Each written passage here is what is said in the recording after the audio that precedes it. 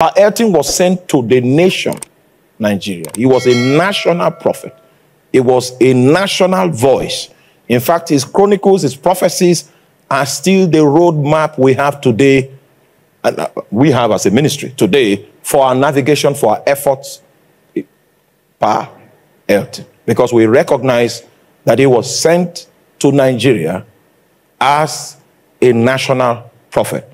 He was the one that was able to unveil our destiny, and he spoke about our corporate destiny being a ground where God will host a revival that will affect the world. Now, did he say anything about that revival while those days? What Yeah, did so- he say? So uh, the first day I stepped in his house, and he asked me where I was from. And I told Pa Elton that I'm a Tiv man. Pa Elton did not talk for like five minutes, He was quiet. just looking at me. And then he would say, Tiv man. Tiv man. and after a while, he said, The greatest revival is going to take place with the Tiv people.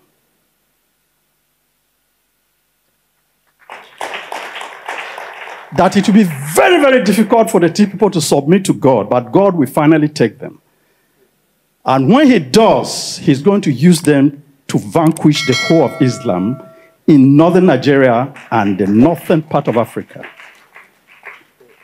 Now, so if you hear those words, are you with me? Now, if someone prophesies, if you are discerning, you will know where the prophecy is coming from. The way prophecy is, there's a way the texture of prophecy is when it comes from the counsel of God. There's a way the texture of prophecy is when it comes from the counsel of angels. There's a way the texture of prophecy is when it comes from the counsel of heaven.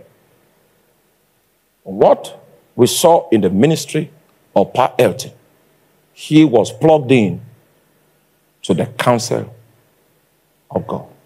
And what he brought about Tivland, you still remember what he said? Please give us a chronicle of what he said about this land. Uh, no, so all I could recall was that first day I came and he, he encountered me and knew that I'm a Tiv person and just said those He words. He said, talked about a revival that was to come. yeah, I say that it will be difficult Difficult. for the Tiv people to yield or to submit completely Do you God. have any um, record whether or not he ever came to this land? Uh, he, he didn't because uh, later Now, on. that's what I wanted you to know. He did not know about the Tiv people because he visited here. Oh, you're not with me. Okay, because you're not interested, don't worry. I will, I will not. I was moved. There was, as he was talking now, I became moved to be talking about strange things that I'm not supposed to talk about. At least not now. Yeah, so But he, I'm saying you're not, you're not. You're not. yeah, so he never came here. He never came here, but he knew about the destiny of the Tiv nation much more than a Tiv man. Yes.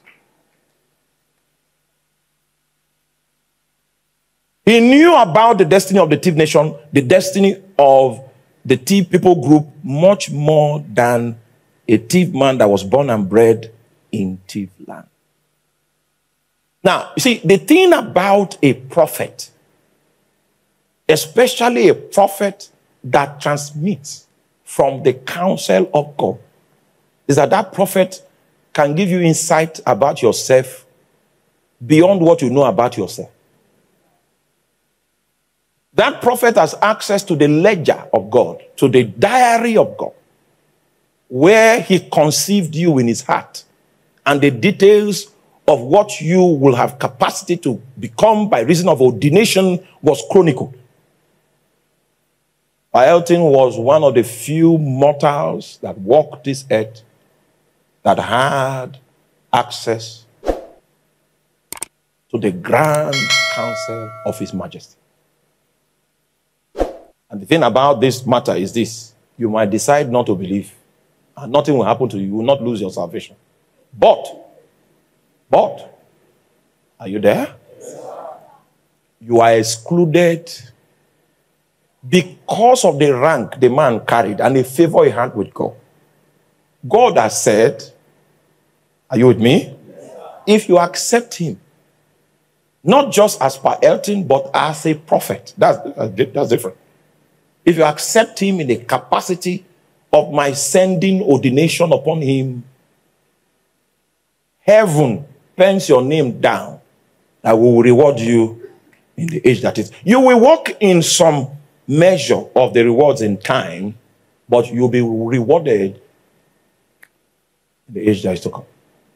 So, can you give us a grand summary? Yeah, so the grand summary is um,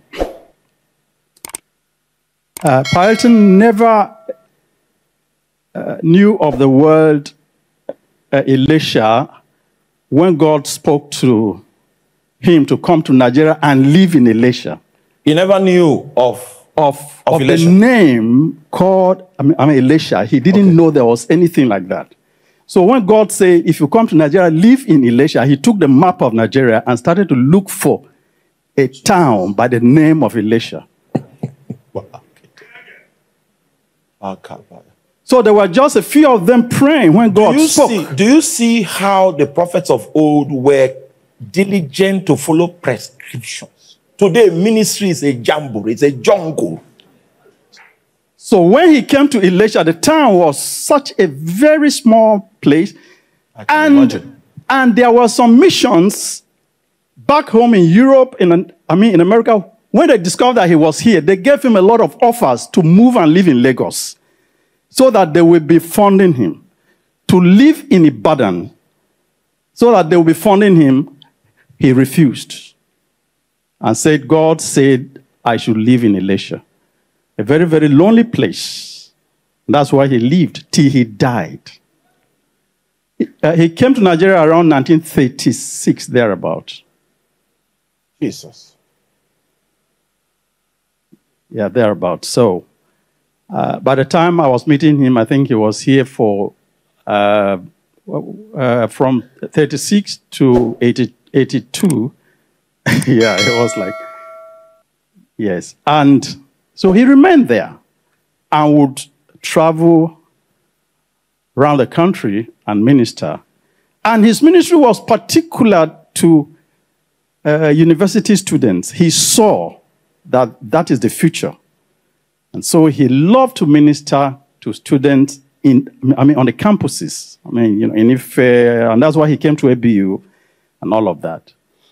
Um, his wife, who we called Mama, you know, I don't even know, I I mean, I know her name till now, uh, was a very, very quiet woman.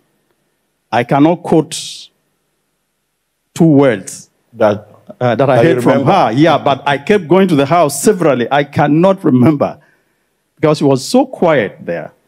But Pa Elton said that anytime he was ministering, he was looking at his wife. And when he was going beyond when he should stop and he saw the wife would signal him, he would end it.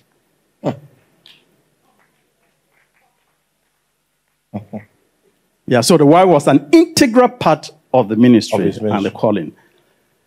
Um, pa Elton was actually an apostle Okay. that, that operated in the prophetic grace too, but an apostle to Nigeria. And he told us that when he comes back, he is going to be ruling over Nigeria. That's when he comes back in the age to come. Yes. Jesus Christ. So now, can you see his heart is on the reward? That's why you will not find him being a, a, a reggae rag.